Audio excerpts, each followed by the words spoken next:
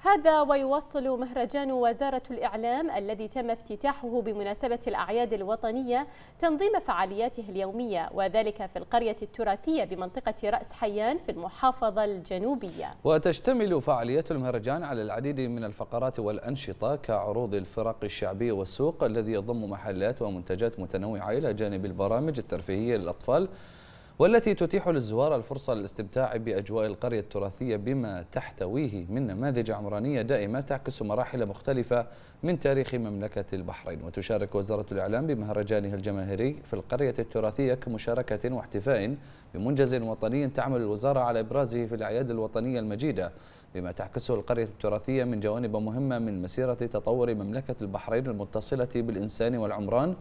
وتستمر فعاليات مهرجان وزارة الإعلام في القرية التراثية حتى العشرين من شهر الجاري حيث ترحب بزوارها الكرام.